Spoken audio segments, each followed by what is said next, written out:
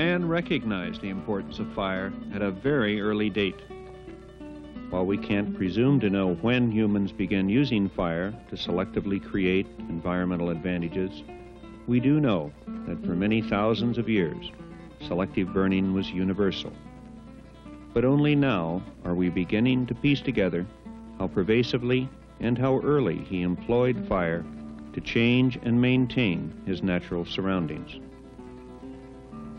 Northern Alberta is bushland, part of the Canadian boreal forest, or taiga, where the fires of spring have been a major environmental factor for controlling the diversity and abundance of plants and animals.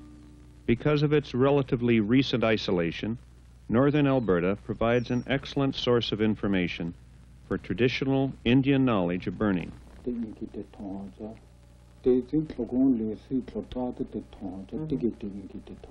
And there's two lakes.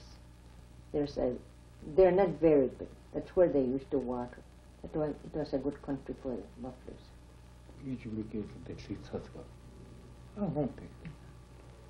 They used to burn places where they think it was very useful. Like, uh, for instance, like um, the places where the horses used to winter in order to have plenty of good feed for them and grass. And then uh, where there's lakes, around lakes where there's muskrats, so that they could uh, always have real fresh roots, you know. They, yeah, they live on roots, grass roots mostly, to keep them nice and fresh. If they don't, uh, the roots will spoil and rot, you know, and then they'll die off every so many years.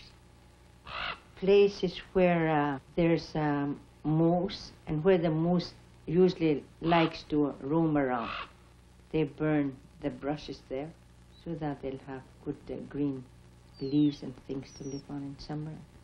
And uh, places where the Indians live close to, you know, they, there'll be brushes like you see round poplars growing in one place, eh? Well, that's where they used to burn it. Within a few weeks of spring burning, the physical signs of fire are all but obscured.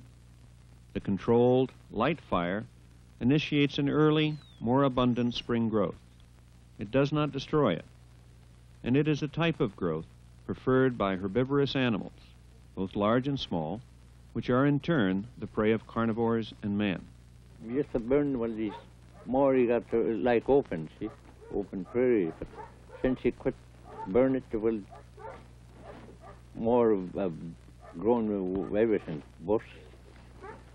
Because you don't, you don't burn, see, then you just grown. Even like here around here, this prairie long ago, it's all open here, all over, like this here.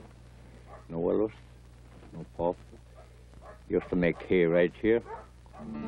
Regions that were once a complex mixture of forest types, muskeg, bush, and large grassland openings, are now dominated by brush and trees. Historical records show that northern Alberta was previously in a more diversified and open environment than is now the case. The record also shows that it was maintained, perhaps even established, by traditional Indian burning. Since the law was made, you can't burn like you did before. The law started in 1932 after a bad summer forest fire had burned from Hay River right down to Indian Cabins and Meander River. It burned out by itself. The rangers came and changed the law. Why there's uh, the bush is so thick, he said, is because since they stopped burning, the Indians stopped burning, the law, and the, the law passed. Years ago, it wasn't dangerous to burn prairies and meadows because there was so much less bush and dead trees then. But now, people can't burn so easy because of all that thick bush. The overall economic aim of spring burning concerned the regional distribution and relative abundance of game and fur-bearing species. the burning techniques employed by Indians of northern Alberta produced a much more open landscape than we now encounter. Names like High Prairie, Rose Prairie, Little Prairie, Hay Lakes, and Wild Hay River are anachronisms now, except, of course, for the squared agricultural fields bordered by an advancing forest. Paradoxically, it was the Indian custom of frequent light burning that had produced and maintained much of the land that white settlers were then able to farm. These open grasslands proved very attractive to the white settler, and he established his homestead on what he assumed was land in its natural state. The technology of spring burning wasn't generally adopted, and in subsequent years, such practices were suppressed by law enforcement agencies, with the result that uncultivated grasslands grew back into bush. About five miles from here, on the river, I guess, out up to there, you could see Street, Prairie Right, to Charles Lake, and that timber. Mm. Mm -hmm. That little blue line. Again from there, the same thing towards Boyle. Rockling, Yeah, Rocklin. You could tell all those prairies. Did you ever see those level prairies? My goodness, I even uh, remember myself. It was really prairie. She ought to call her here. I'm old now, but when I was a young man, the Meander River area was like a prairie. But it's all grown up now. Lots of bush and lots of trees where there used to be grass. The airport is three miles from Meander, and from here to there, it used to be all open grasslands. But not now. We always burned just before all of the snow melted before the ducks had started to nest. We didn't burn after the ducks had nested. We knew when to burn and when not to burn. The spring fires made good food for the ducks, and it was good for all kinds of other animals too. In time, many animals go there. Some, like the beaver, about four or five years after. Especially the bear, because the new bushes of berries growing in the burned places. Bears live not only on leaves and other plants, they also live on berries. They eat all kinds of berries at any season. For the early practitioners of this fire technology, there was a very precise time for burning. Spring, when the grasses of a meadow were dry and the surrounding forest remained too wet to burn. Only rarely did burning ever take place in the fall, never in the summer.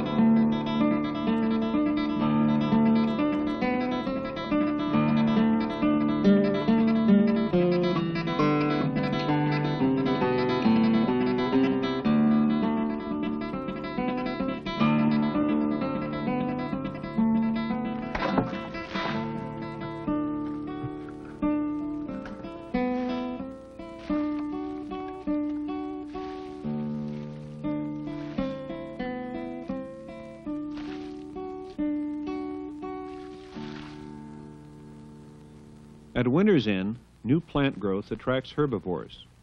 With cleared, blackened surfaces, spring-fired meadows are preheated and growth occurs several weeks earlier and more lushly than in surrounding areas. In the Canadian boreal forest, where summers are all too short, these areas of induced early growth become important to both animals and man. They used to start burning when there was still snow here and there. And some of the youngsters even just ride on horses, you know, and they set matches, you know, and that's how they burn. They don't wait until it's really dry, because it's it's dangerous. And like in trap lines, there'll be just about two of them, and yet the fire doesn't.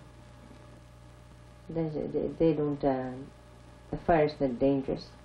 They just burn the areas they want. Spring burning serve purposes other than just that of early, more abundant growth. It was used to fireproof settlements, to clear dead and downed trees, the improvement of hunting and trapping areas, ease of travel, the maintenance and improvement of duck and geese habitat, the reduction of mosquitoes and black flies, the improvement of berry patches, the provisioning of ready-dried firewood, even aesthetic and religious reasons were important. The considerations for burning were as varied as the kinds of resources and types of habitats involved. The muskeg you burn, you get, you get wood. I mean, for wood too now, you see if you burn, you get a lot of wood. I mean, dry, everything, after you burn, like, now we never burn in some places, you got a hell of a time to get the wood. Now you have to go long ways to get some wood. You never burn. So long ago you burn when you get wood to any place. Like even right here now, if you burn all this one in the spring, you get lots of wood. Close. If they don't burn, you get nothing. Yeah. Yeah. In the spring, when there is still snow in the bush, that's the only time most people would burn the open places. It is then that people think that it is best to start the burning. There are a lot of places they don't burn. They don't burn all over. To start spring burning again would be good for people because it would help a lot, like it was a long time ago. It would be easier for the people to trap and hunt around the burn, along their trap lines. Sometimes the brush gets so thick that the dogs and sleds can't get through, so they burn it.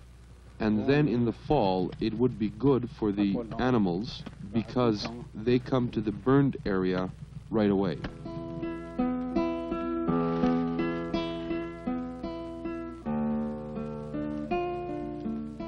Whereas prescribed fires were important with their effects of earlier spring growth, and the subsequent abundance of plants during summer and fall.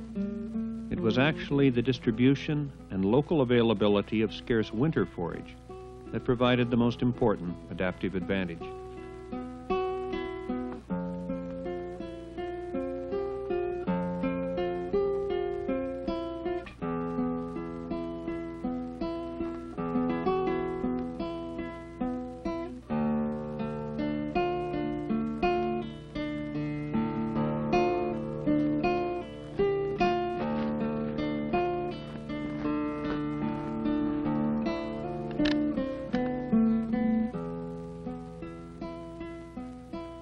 Selective, carefully considered uses of spring burning throughout hunting and trapping areas added a significant measure of planning and predictability to the otherwise great uncertainties of winter survival. It was, by any definition, a form of resource management, a form of environmental manipulation that enabled northern Indians to maintain and improve the preferred habitats of selected animals sloughs that's where there's rats, muskrat, that's where they used to burn. And um, where's there's heavy brush, you know, like uh, windfalls and things like that, or the young trees will grow for to attract the animals, like moose and things. Where there's timber and moss, they don't bother because the fire lasts and lasts, and it's hard to put it out. And furthermore, for fur-bearing animals like martens and things, link, that's where they mostly stay in winter time. So they don't want to destroy that. They must be very wise, eh? Those people, that tribe. I am most impressed by the complexity and interrelations being emphasized by elders in any discussions of the use and effects of fire. The conceptual framework that ecologists use helps us to understand some of the dynamics and complexities of what is both an age-old tradition and a relatively new field of environmental science. A few of the meadows, the kinds of areas where woodland bison once grazed and were hunted, are still maintained by spring burning to provide feed for domestic animals, especially horses, which, like hunting and trapping, are important to the image and reality of being Indian. Spring fires expanded the safe area around a settlement when snow and a far higher humidity in the bush made even an accidental outbreak manageable. But spring firing produced more than fire breaks. The meadows were cleared off, forcing an earlier, more productive, and more uniform growth.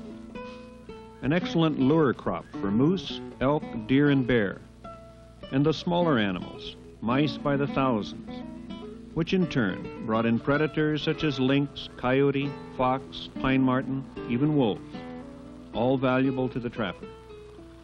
In light of this increase in available game, firing was not confined to the settlement areas and nearby meadows. Trappers fired meadows and sloughs along their trap lines every spring to assure next winter's bounty. The existing natural mosaic became more varied, and it continued to grow in complexity and variety. Fire was of particular importance for improving and maintaining the habitats of aspen and willow favored by beaver. In turn, muskrats feed on the rootstocks of cattails. As with many other plants, fire stimulates their growth and ultimately produces a larger population of muskrats. Ducks far prefer nesting on the fresh, more productive growth along the burned section of a lake shore. And spring burns were always set before nesting began. In all, it was a controlled system to initiate what ecologists call early succession, a period of increased growth. All of this was managed by people who had developed a complex technology of fire to assure a continued successful adjustment to the northern boreal forest.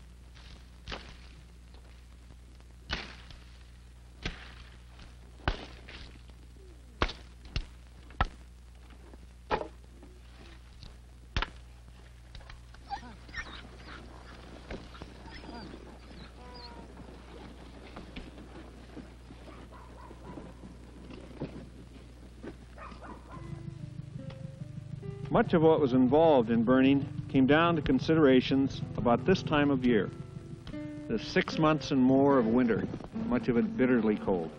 The fires of spring helped ensure the relative bounty of summer, fall, and most important, winter. All of it added up to a carefully reasoned plan for coping with and manipulating the northern forest.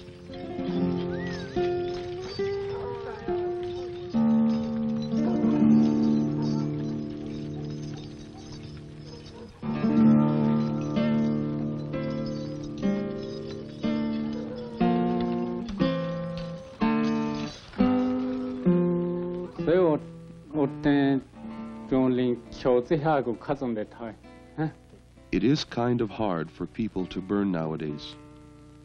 The way things are now, it would be hard to burn. It would be better to burn again because it would make things different for our people. For a couple of years now, there's hardly any more berries. Well, if you burn, well, you coming fast, see? You grow fast. But if you burn right away, well, you grow right away. But if you don't burn, well, you don't, you don't, I mean, you don't, uh, you don't grow like that way. Some places where you burn, you burn the spring, and maybe one week time it's already, you can see everything grown clean. Trappers burned when they were on their way home from spring hunting. At that time of year, it was safe, and they burned because it made it better for them in the winter, with more animals to hunt and trap for. But that was years ago that they did all that. Nowadays, you can't burn on the trap line because it's against the law, and it's not so good as it was before. Why they call it buffalo prairies? There used to be a lot of buffalo there long ago.